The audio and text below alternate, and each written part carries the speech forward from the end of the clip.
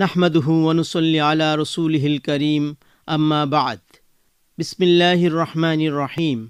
আল্লাহ তালা মানুষ ও জিন জাতিকে সৃষ্টি করে পার্থিব জীবন পরিচালনার জন্য ভালো মন্দ দুটি পথ দেখিয়ে দিয়েছেন এবং বান্দার প্রতিটি কাজের প্রতিদান দেওয়ার প্রতিশ্রুতি দিয়েছেন। ভালো কাজের প্রতিদান স্বরূপ জান্নাত এবং মন্দ কাজের প্রতিদান স্বরূপ জাহান্নাম সৃষ্টি করেছেন। মানুষ সৎ কর্মশীল হলে জান্নাত এবং অসৎ কর্মশীল হলে জাহান্নামে বসবাস করবে। জান্নাতের সুখ যেমন মানুষের কল্পনার বাইরে, জাহান্নামের শাস্তিও তেমনি মানুষের কল্পনার বাইরে। জিন ও মানবজাতি সৃষ্টি করার পূর্বেই মহান আল্লাহ রব্বুল আলামিন জান্নাত ও জাহান্নাম সৃষ্টি করেছেন। অত্তাকুন্নার অল্লাতি ওয়াইদ্দাতলিল কাফিরিন।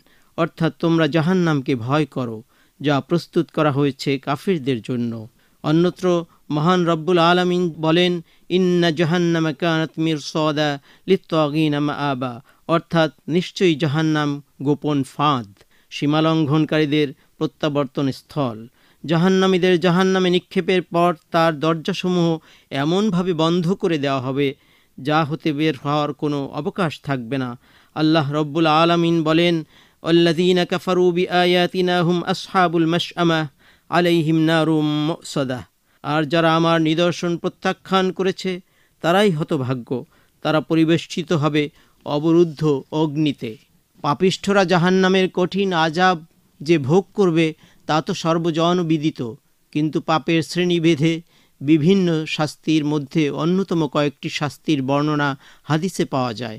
যেমন, যে ব্যক্তি তার স্ত্রীর সাথে অবিচার করেছে, তার ব্যাপারে মিশকাত শরীফের এক হাদিসে রসুল করিম সাল্লাহু আলিহাসাল্লাম বলেন, যার একাধিক স্ত্রী ছিল এবং সে তাদের সাথে বেইনসাফি করেছে, কেয়ামতের দিন সে বাহুভাঙ্গা অবস্থায় উপস্থিত হবে। কোরআনুল করিম শিক্ষা করে যে ভুলে যায়, তার ব্যাপারে রসুল্লাহ সাল্লাহু আলহিহাসাল্লাম দুঃসংবাদ দিতে যে বলেন, যে ব্যক্তি আল কোরআনুল করিম শিখে অলসতাবশত ভুলে যায় কেয়ামতের দিন সে আল্লাহর দরবারে কুষ্ঠরোগী হয়ে উঠবে, তথা তার হাত কর্তৃত থাকবে।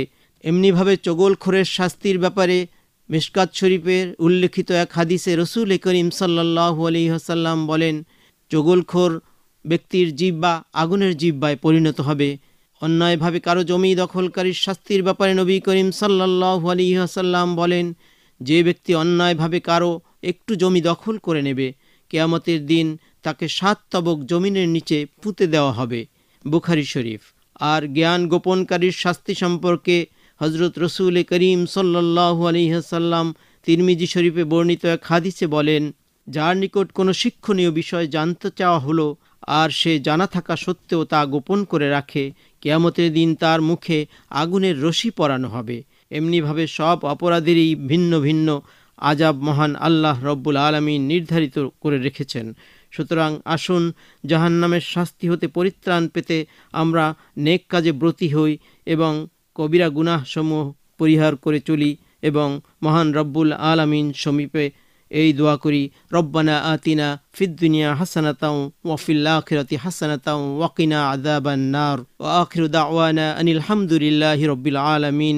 আসসালামু আলাইকুম ওয়া রাহমাতুল্লাহি ওয়া বারাকাতুহু।